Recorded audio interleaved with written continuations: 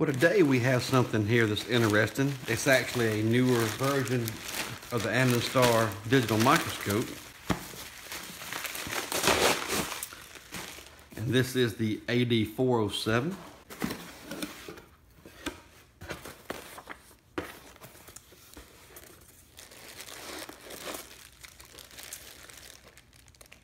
Looks pretty awesome. We actually have a seven inch screen and Andonstar got up with me. They wanted to send me one out so we could review it. And I just thought it would be an awesome chance to look at this new microscope. It's actually nicer than the one that I bought back myself for like a thousand subscriber uh, kind of kickoff video. I couldn't wait to get my hands on that one. It's been so awesome on the bench. Like I said then, I had bought that one myself just to try it because I've been wanting one. So just tickled the death that um maybe I'm getting enough attention that uh, Andonstar decided to send this new 407 to actually see how we like it. So we have our microscope with a tilt and the 7-inch LCD display. The remote, the user's manual, the mini HDMI cable, which is awesome, the power cable and the light power controller, USB adapter, some hardware here, the mount, the base and the light assembly. With those two screws, we just easily mount our base to our optical bracket. Have the built-in connector supplying the power to the LED lights. This looks like this is hardware if you wanted to mount some clips. I'll swing them out of the way for now. I don't know if I'll leave them on there or not. We'll see.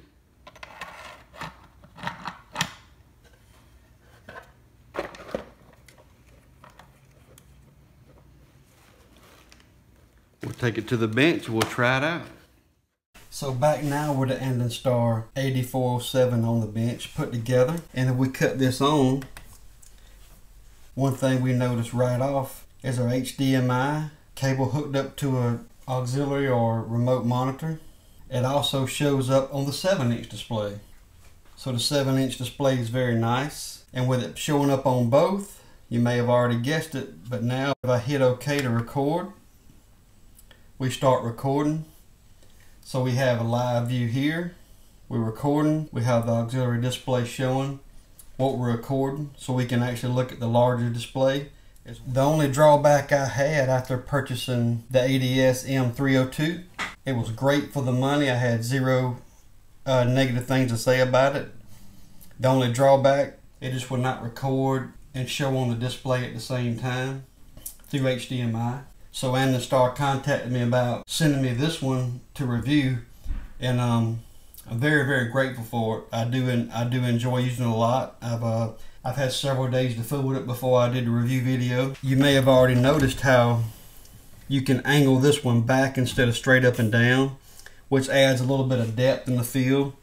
So I put this up here just to show how you can see a lot more depth in this little small LED. And this LED is probably 0603 LED. And am I the only one that sees Sid from Ice Age here? Anyway, as I bring over some other items here to look at. So the first item I have on the sheet I can bring over here it's just a six lead little small SMD component that I uh, desoldered. So you get to see some of the rosin flux build up things of that nature with a little bit better detail. And it's really there just to show that as we come on over to this capacitor, I got a lot of rosin flux still stuck dead as well. And then I want to show, now this 100 ohm resistor, when I went to check it with my meter, was showing open.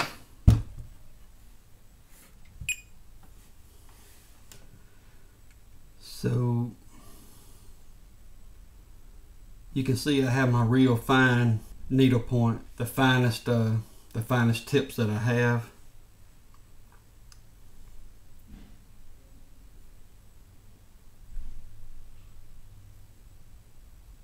And I couldn't actually get a reading, even though I was fairly certain when I took this off it was working fine. But if we use this microscope to our advantage, especially using the depth here, we can see that we're missing a lot of the, um, the contact point here on the side. So if I go across the top of this resistor using a microscope just to make sure that I touch the solder here, and we see we do have we do have a 100 ohms.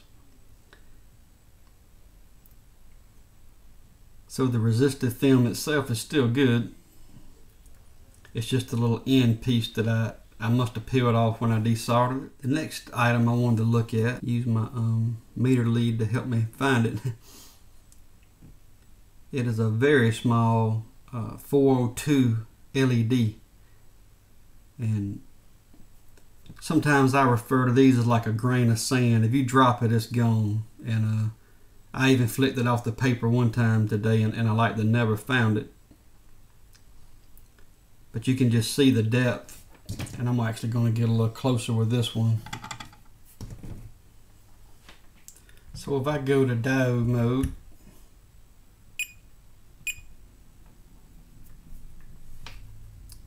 and go to test my LED,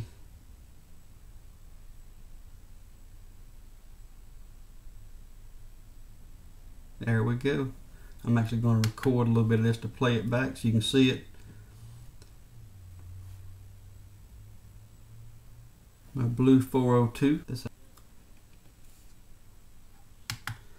So that definitely shows how helpful the microscope can be. Of course, in our um, our standby mode, which is like our live video mode, it shows us how much time we have left to record on our SD card and this one is very similar to the 302 where it'll take up to a 32 gigabyte SD card. The optical stack is a little bit different as far as uh, the way it's designed with the 7 inch display at the end of it. Other than that it looks similar and we definitely have a different mount to give us a depth, a better depth of field and um, and one thing I like about it um, with the angle it gives you a better depth and also it's more out of your way if you if you are actually soldering. So if you got a, um, your meter leads or your soldering iron in here, it is more out of your way. So, and of course, if I was soldering, I would have this even even back a little further instead of zoomed in like I did on that 402. But this one has 3x digital zoom instead of 4x like the other one. It also comes with the same um, remote so you can do the zooming. You could do a freeze if you want to freeze the shot. As you see here, it just froze on me. So if you want to do some kind of pin out on a chip and freeze, frame it, that's pretty cool. You'll have it up there and you can keep looking at it even after you done move your stuff. Some of the other modes are the same. You can you can do your brightness and your I should have had that up a tad on the camera probably.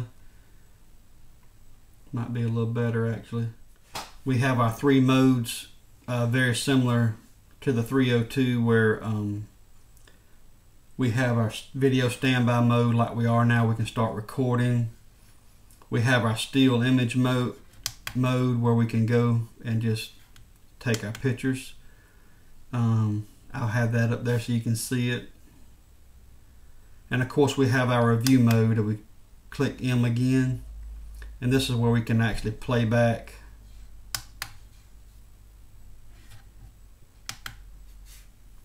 and play back some of our video.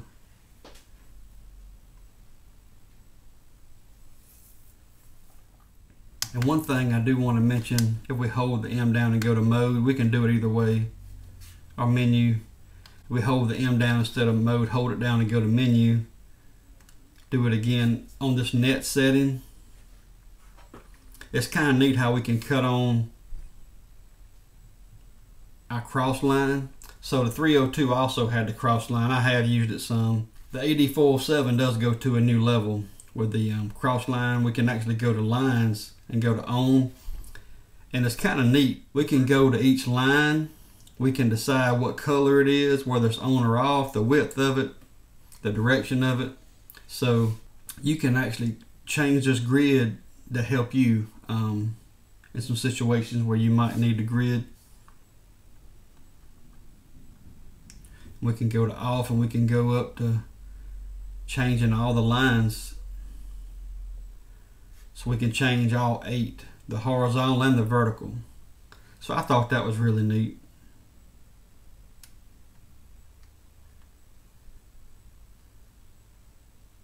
We can change our width up to five different levels. So we can see on the on the yellow vertical line here for reference. We can definitely change the position of it.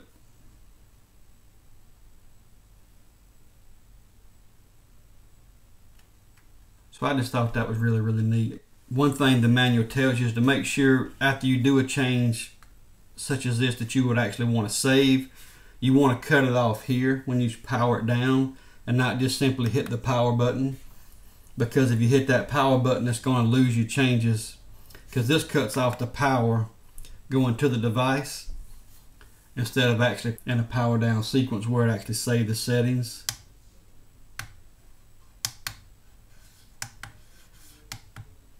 So we realize now we go down we see that it, it didn't save that yellow where I had it so in case you did want to save the changes, where there's date and time, for example, you do want to make sure after you change your date and time that you do power it down on the soft power down.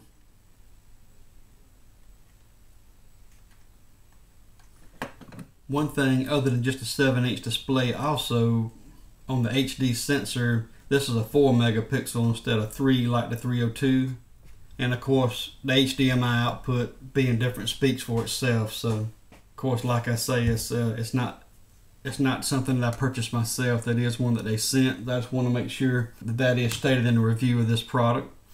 But with that being said I'm still going to be open and honest about it I mean first of all the top of it looks the same it's got a micro SD right here a USB it plugs into the bottom the lights are the same one difference is the way they angle this. Of course, we discussed that.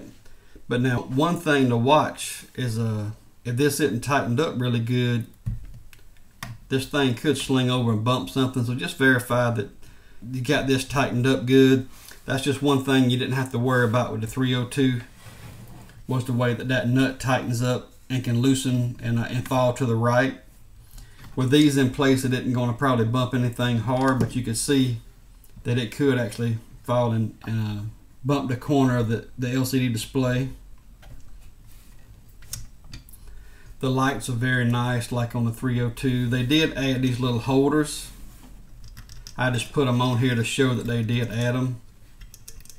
And uh, that might be handy, it may not, but they're easily removed if you don't want them on there. I did mount my power on and off and dimming module on the corner like I did on a 302 just to keep it conveniently located there and try to neaten up the wiring.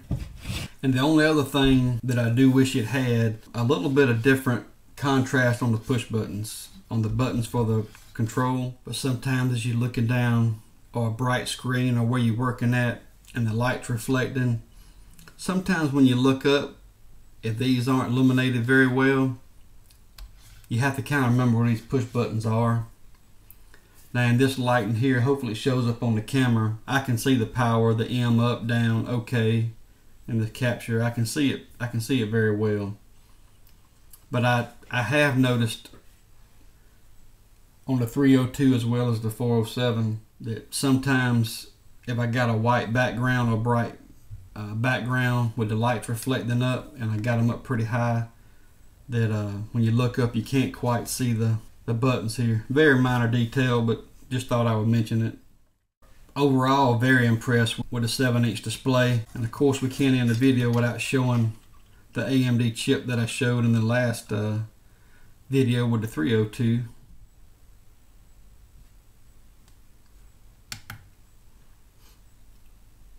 But there we go. There's our little Easter egg up there in the top right, AMD 1981, and the actual I guess the board number right there coming down vertically.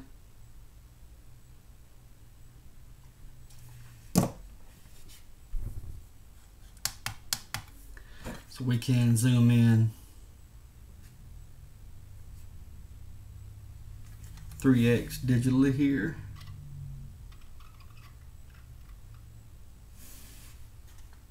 adds a little bit of noise but still still pretty good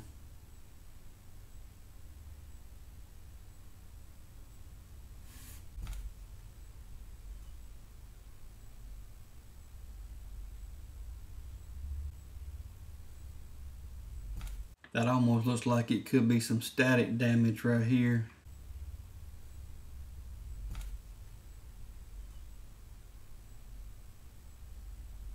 So just a comparison here outside of the microscope of what we looked at under the microscope. There's our AMD chip, our 6 pin IC, the little cap, then the 100 ohm resistor, and there's a little 402 LED. But I hope you like this review of this Andonstar AD407. It really is a nice microscope. I do thank Andonstar for sending it. If you like this video, please like, share, subscribe, and thanks for watching.